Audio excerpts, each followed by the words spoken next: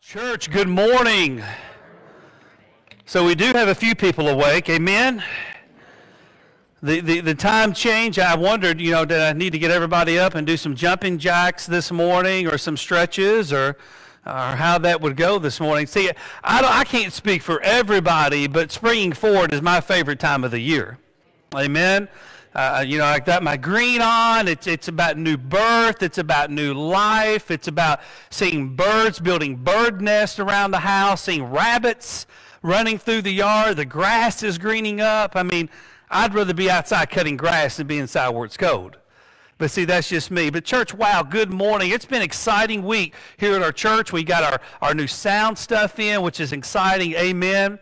And uh, our, our decorators have come in this week and done some decorating for, for spring and for Easter, and they always do a great job too as well. Amen. But I pray uh, you have your Bible with you this morning. Uh, we are going to be in the Gospel of John, chapter 17, verses 20 through 24. Hope you got your sermon outline. It's in your bulletin. Go ahead and get that out. And while you do, just two quick announcements while you're finding all your, uh, your scripture and your outline this morning. Talk to Allie this morning and Jake a little bit. They are going to meet their baby girl this week. And so praise God. And so I know this has been a, a, long uh, situation with Allie and with Jake and, and the pregnancy, and we have missed them so much here at our church family. Uh, going to have the baby this week. And so I know that they are extremely excited, and we get to add a baby to our church family. Praise God. Amen. And so we're excited in that, and we're praying for them. And then the cookout and the dessert auction for next Sunday. Church, don't forget, invite people. The weather's looking good. Uh, Gordon's going to do, we got a celebrity in Gordon. Uh, that's going to auction our stuff off back there. Amen. And so it's going to be a great day, but to make it successful, we need your help. And so we need you to be here and invite people, bring some desserts in, let us auction this off. All the money is going to the Annie Armstrong uh, Easter offering. And so we're looking forward to see what God does with that. So again, John chapter 17, verses 20 through 24. Austin hit on something earlier in the children's message, and him and I have kind of been correlating and some of the messages that I have been preaching on Sunday morning and some of the uh, children's topics that he has been covering as well with Children's Church. You know, it's always gratifying. It's always heartfelt when someone looks at you and they say, I'll pray for you. There's something about that. One of the first people that I met here at Cecilia Baptist was Leroy Hazlett. And when I went to visit Mr. Leroy and went into his house and spent a few minutes with him, he looked at me and he said, I have been praying for you. And I am going to continue to pray for you. And when I left that day from Leroy and Anna's house, it, it really made me think. I, I was sitting there and I was thinking to myself, I was like, you know, this man has already been sending up prayers to the Father for, for me before I ever even knew Him. And I'm going to tell you, and I, I don't, I'm not going to say this next thing because uh, to boast, but church, I want to let you know a little bit about my heart and a little about my staff's heart here at this church. Every Tuesday morning at 9:30, our staff meets in our office. And we pray in that room every Tuesday morning. We pray for church growth. We pray for guidance. We pray for strength. We pray for those that we haven't even met yet. We pray for each other. And we pray for you. Every single Tuesday morning, these are the things that we do. And you may not know this. You, you may not even realize this, or maybe it's something that we have forgot, but in Jesus Christ, we have someone that prays, that intercedes for us. Did you know this about Jesus? It's true. Almost 2,000 years ago, after he prayed and he prayed for the disciples, his attention turned to us. Now, how many of you this morning have ever sat beside someone, or maybe you've stood beside someone when they've lifted up prayers to God? on your behalf. How many of you all have ever experienced that? Raise your hand. Just about every single one of us have experienced that, right? There's something powerful, there's something moving about that whole situation. So just imagine Jesus is doing the exact same thing for you and for I. Can you imagine how intimate that would be to sit beside Jesus as he prayed to the Father for you and for me? Now, normally when we pray, we, we, we do so normally with our heads what? Our heads bowed and our eyes closed. So this morning, I'm going to read this scripture, a prayer from Jesus, and I'm going to ask you to do something a little bit different this morning, okay? I'm going to ask you to bow your head, and I'm going to ask you to close your eyes as I read these words from where Jesus prayed for you and Jesus prayed for me. John chapter 17, verses 20 through 24. Bow your head, close your eyes, and just listen to these words that Jesus prayed for you. It goes like this My prayer is not for them alone. I pray also for those who will believe in me through their message, that all of them may be one, Father, just as you are in me and I am in you May they also be in us, so that the world may believe that you have sent me. I have given them the glory that you gave me, that they may be one as we are one. I in them and you in me, may they be brought to complete unity, to let the world know that you sent me and have loved them, even as you have loved me. Father, I want those you have given me to be with me where I am and to see my glory, the glory you have given me because you loved me before the creation of the world. Let's pray. Father, what an awesome day that it is, dear God. Lord, we get to come to your house. We get to lift up prayers. Father, we get to sing. We get to give of our gifts. And Lord, we get to fellowship and be with one another. And Lord, I pray we never overlook that blessing. And so, Father, as we come today and we, we listen to these words, Father, a prayer from you, Lord, as you called out to the Father on our behalf, dear God because, Lord, you loved us that much. Even in an intense environment, Lord, that you knew that Jesus was getting ready to go to the cross to give his life for us, Lord, so undeserving. Father, we were still what he was thinking about and praying about. Because, God, when, when you made us, Lord, you had a plan. And Father, Jesus knew, even in his last hours, that we needed to be prayed for. We needed him to intercede for us. And Father, I know there's a lot of people here this morning that need prayer. Father, there's a lot of people here this morning. Maybe they need to come and, and they need to pray for someone else. Maybe it's their salvation. Maybe it's their life. Maybe it's an addiction. Maybe it's a family problem, a medical issue. God, I don't know, but Lord, you know each and every heart and each and every soul that's here today. Father, help us not to overlook how serious that prayer is and how serious, Lord, Father God, that you love us. So, Lord, I pray you're opening up hearts right now. You're opening up minds, you're opening up ears. And Father, these words, they just don't fall on deaf ears, but Father, you use them to build your kingdom. And so, God, we thank you for loving us.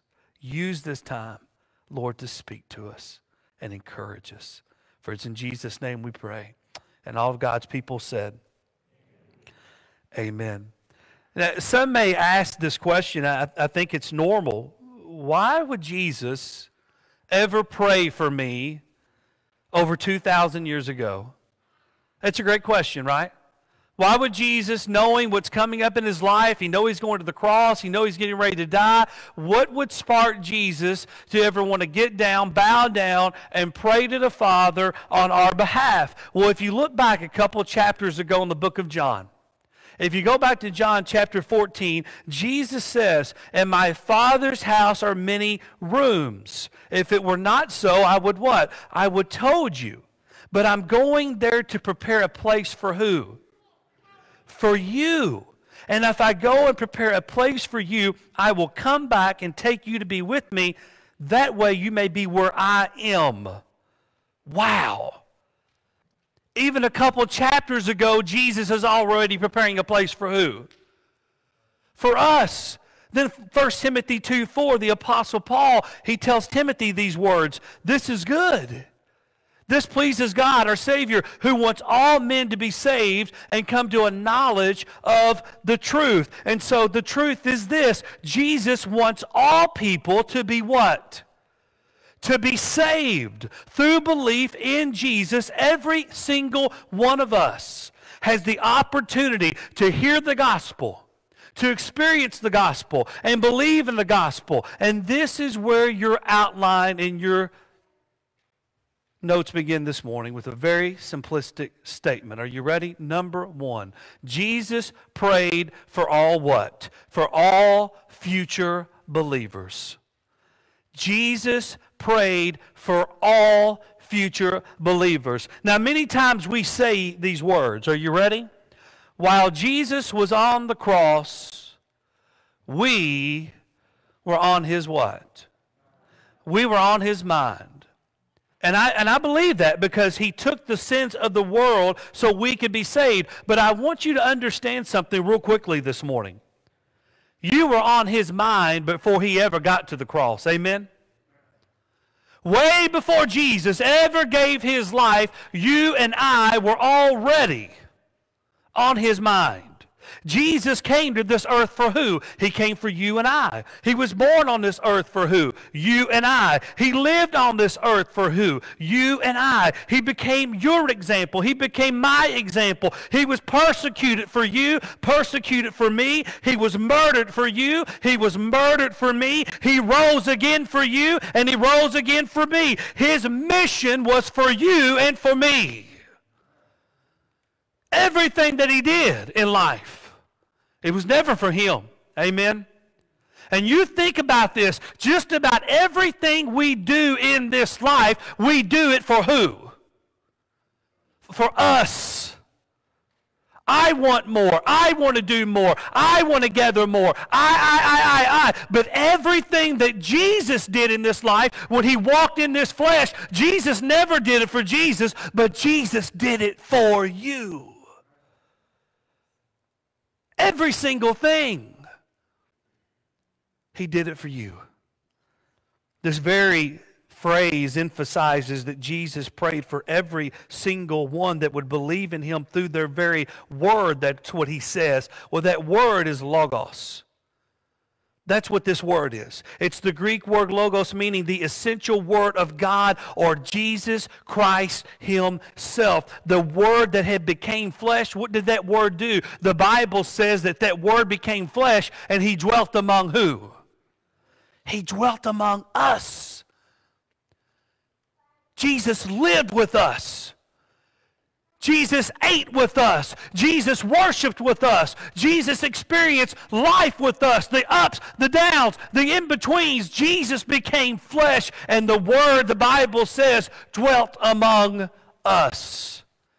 Now, you may be here this morning, and maybe you don't have a relationship with Jesus Christ. Maybe you are this individual, and, and in your mind, you're, you're thinking, well, I'll, I'll save this situation for, for later on. I'll get right with God when I'm in my 30s, my 40s, my 50s, my 70s, my 80s, my 90s. Tick tock, tick tock, tick tock, tick tock. And you just keep putting it off and putting it off and putting it off. I don't know why we do that. Maybe you're here right now and you're thinking to yourself, was this prayer for me? And I'm going to tell you beyond a shadow of a doubt, you better believe it. That that prayer was for you. You may not be a believer right now. But if these words are speaking to your heart this morning, then you know there is something that is missing in your life. See, Jesus Christ prayed for all of these people. I'm getting ready to talk about. Are you ready? Jesus prayed for the weakest and the strongest. Jesus prayed for the poor and for the rich. Jesus prayed for the diseased as well as the healthy. Jesus prayed for the widow and the widower as well as the couple. Jesus prayed for the prisoner and those that were free. Jesus prayed for the believer in the darkest of areas as well as for the believer in the limelight. He prayed for all. And no matter your color, no matter your nationality, no matter your financial background, no matter your lack of material possessions, no matter if you think you have everything money can buy, Jesus still prayed for you. He prayed for you. And then, number two, Jesus prayed that believers be what? Be one. Jesus prayed that believers be one. Through the prayer of Jesus Christ for all believers, he makes three requests, just as you and I do when we send up prayers for each other, right? When we come to this altar and there's something on our heart, something on our mind, Holy Spirit has brought us up here. Sometimes the Holy Spirit will bring you to the altar and you're confused. Amen? You don't even know why you're up here, but you know that you need to go pray. And so then you get up here and you bow down. You may be in an emotional hot mess. Lord, I don't know. But God brought you up here because there's something that you need to pray about. And then you come up here and then the requests, they just start coming, don't they? You find something to pray about for your family. You find something to pray about for your coworker. You find something to pray about for the children that's in your church. You find something to pray about for your lost neighbor or for your person that you work with. It's funny how God works in prayer. Amen? But if we give him the time, if we give him the effort, so this first request, it's found here in verses 21 through 22. The word one appears three times. It appears three times in verses 21 through 22. So there's quite a bit of emphasis here by Jesus. And this one doesn't signify what many believe today is just a singular noun, but this is actually a means of a, of a whole. So, why would Jesus be so concerned over our unity? I would tell you to turn on the TV, but you might, it might scare you to death. Amen. I want to read you real quick. I, I loved uh, uh, when I was growing up. Did anybody else watch Charlie Brown? I, I think you know, if a kid of the '80s, you couldn't miss Charlie Brown. Some of you guys may, may know Charlie Brown, but in a Peanuts cartoon, Lucy demands that Linus changes the TV channels. So you know what she does? She threatens him with her fist if he didn't. What, what makes you think you can walk right in here and take over? asked Linus. These five fingers, says Lucy. She said, individually, they're nothing, but when I curl them together like this into a single unit, they form a weapon that is terrible to behold. Which channel do you want? asked Linus. Turning away, he looks at his little fingers and he says, Why can't you guys get organized like that? Right? Now, this unity, it doesn't mean that we're not going to have disagreements, right? They're, they're, we're going to have disagreements. And I'm going to tell you something. Wherever there are people, you're going to have what? You're going to have disagreements. I hear people all the time, well, I don't go to church because I can't find a perfect church. Well, guess what? They don't exist. Perfect churches don't exist. Perfect places don't exist. The only perfect place that you and I are ever going to be involved in is heaven. Amen? So wherever there's people, there's always going to be some type of disagreement. Now, it doesn't mean that one denomination has got every single point correct, but what it does mean exactly. Jesus told Nicodemus in John chapter 3, he said, No one enters the kingdom of God unless he is born what? Born again. And this is the central theme of our unity. All religions and all denominations may not agree on forms of baptisms. We may not agree on all forms of church polity, but I can promise you there's one central issue that must be agreed upon, and that issue means there is only one way to heaven, and that one way to heaven is through a relationship with Jesus Christ. That is it. So if you are at another church, if you are at another congregation, if you're at another denomination, and they look at you and they tell you, oh, listen, we believe there's multiple ways into heaven. I'm going to give you one piece of advice. Are you ready? Run. Run. Because Jesus said there's only one way, and that way is through the Father, and that's through me run. This unity, it's also important because the world needs to know that the Father sent Jesus. And if we're not preaching and sharing a message of who Jesus really is, then we become like a house divided. Now, church, if you know anything about the Bible, what does the Bible say about a house that is not stable? It says it cannot what? It cannot stand. The Bible says that a house divided, it cannot what? It cannot stand. And what's even more amazing is that when we decide to live in unity and to live as one and not as many, we finally embrace this new creation that Christ has made us into. We finally live like creatures should live, and we start to proclaim a message in our lives that Jesus is who he says he is, the Son of God who lived and died and rose again. And if you look out in our foyer when you leave today, if you look in our foyer when you leave today, you're going to find that central theme right out here written on three canvases that Carl McKinley painted this week. The central theme of who we are in Jesus Christ. He lived, He died, and He was raised to what? He was raised to life. And then, number three, Jesus prayed that all believers, in church, we cannot overlook this Jesus prayed that all believers be perfected in a unified what? A unified message, and not just a message. Not just a message, but also in what? But in love as well. Now, why would Christ want us to be perfected in unity as one body? Well, let me ask you a question. How many people do you know that's unsaved? How many can you count? How many people do you know in this life right now that has never been saved, never professed Jesus Christ as their Lord and their Savior? See, Christ knew then and he knows now that if we don't come together as one body of believers, then the hope for this world continues to grow dim, dimmer and dimmer each day. Christ gave us a responsibility to share His Word. The Bible says in Matthew that we are great commissioned family of believers that should be going and make disciples of all what? Of all nations. The biggest issue we have, though, church, I'm just going to tell you, are you ready? The biggest issue that we have lies right here.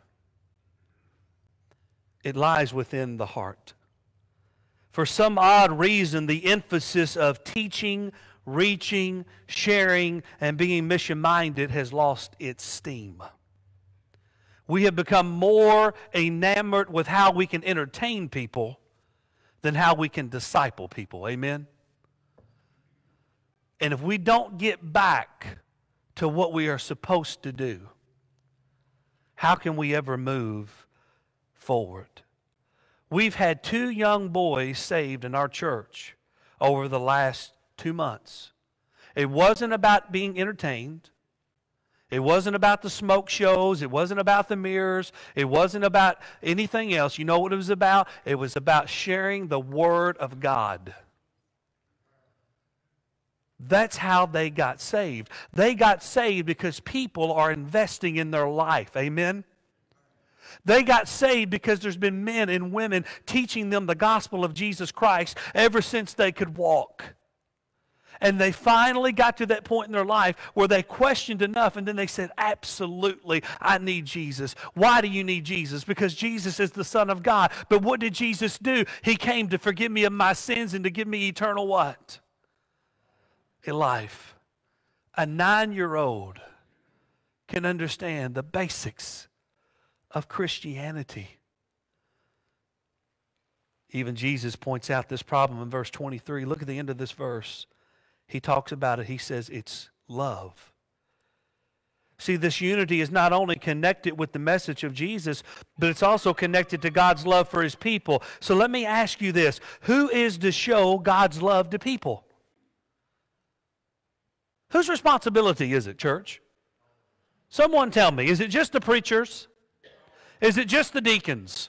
Is it just the door greeters? Is it just the Sunday school teachers? Is it just the youth leaders? Is it just the children's leaders? Is it just people that serve on committees, ex deacons, former deacons, going to be deacons? Whose responsibility is it to show God's love to people? Every single what? Unification. Do You see that? Unification. A church grows naturally when people love Jesus and when people love people. That's when you see growth. Because there's something in your life that you want to share with someone else. And to get them to see that, you want them to bring them into God's house. You want to share that excitement. You want to share that joy. Now, listen, the world could come to know Jesus with a unified witness, right? We could go and tell Jesus. We, we can go and share the Bible. We can go and we can share words alone. But the only way the world can ever come to know Jesus on a personal, unified level is through witness and through love amongst all brothers and sisters in Christ Jesus. In 1965, how many of you all remember 1965? I, I don't think I was yet born. But some of y'all remember in 1965, there was a little song that was released, and the words go like this What the world needs now is love, sweet. It's the only that there's just too little of. I can tell you this morning, this song is more true than what people could have ever imagined, church. Families need more love. Children need more love. The lost need more love. The stranded and the poor need more love. The lonely and abandoned, they need more love. And we as Christians need to have more love, not only toward the lost, but we need to have more love toward each each other. And it's amazing to me, church. Listen to me. It's amazing to me how brothers and sisters in Christ can't care about each other or how we ignore each other just walking down the street. You know, and I want you to think about this. If the lost saw how we are supposed to love each other by serving, by sacrificing, by being affectionate toward one another, maybe, just maybe, more people would be getting what? More people might be getting saved. If the lost saw how we are supposed to be. And then, last but not least, this is Jesus' third request. Jesus prayed for all believers to reach their what? Their eternal destiny. Their eternal destiny. Now, I've noticed most people want to be loved, right? All of us, in some fashion, in some form, we want to be loved whether if that's by our family, whether if that's by our boyfriend or our girlfriend, or if that's uh, whoever it is, our church family, all of us want to be what? We want to be loved. Most people will do some crazy things for love. Amen? But it's natural because God has made us that way. We want to be cared for. We want to fit in. We have a desire that we want to be wanted. So, see, God didn't create us to leave us or strand us. Oh, no, no, no. He created us, He saves us, and He desires to have our company. He wants your company. And Jesus doesn't just want your company for a short amount of time. But the Bible says that Jesus wants your company for what? For eternity. See, Jesus' love's not conditional. Amen? His love's not conditional at all. Jesus says, I'm never going to leave you, and I'm never going to what? I'm never going to forsake you. I'm always going to love you. And Jesus knew the only way for his prayer to come to fruition, it included his death. It included his resurrection and it included his ascension. And there was one more aspect of this prayer coming true for those he prayed for. We would have to believe. We would have to place our faith in Jesus Christ.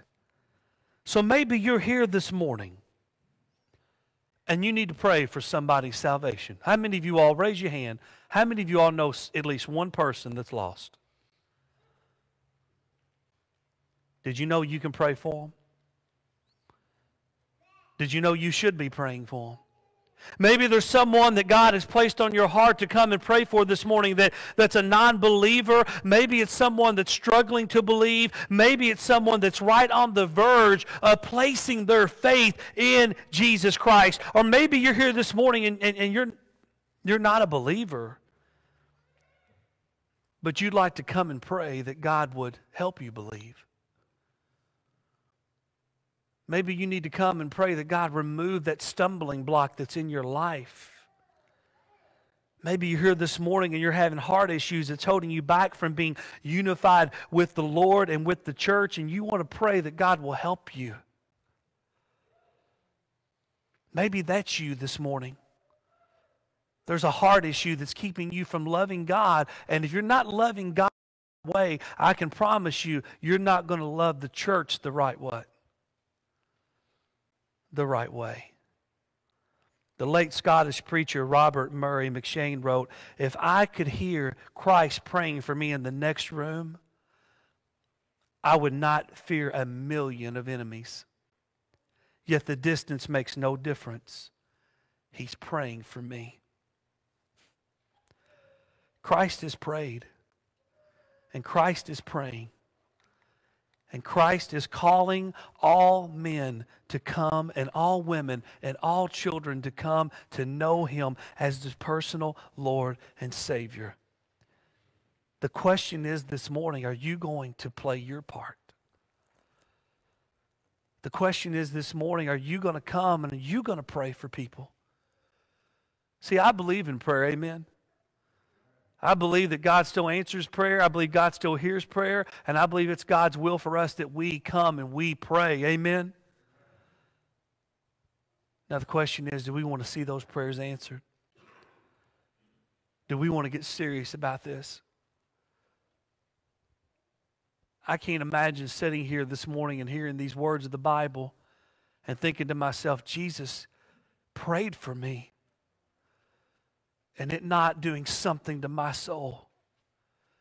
And not doing something to my mind and not doing something to my heart that somebody that lived 2,000 years ago, that never even knew me at that moment in time, loved me enough to do what he did for me. Are we doing enough? Are we praying enough? Church, this morning, this is your invitation. This is your moment to come, to pray, to use this altar, to, re- to connect with God on whatever's going on in your life, whatever's going on in your heart. And I don't want to further it anymore. So, Billy, if you come and you, Billy's going to lead us in music, I know God is moving this morning. I know God is touching hearts this morning. And I know that God is, is ready to hear your prayers this morning. Amen. So as we stand this morning, I'm going to encourage you will you come? Will you pray?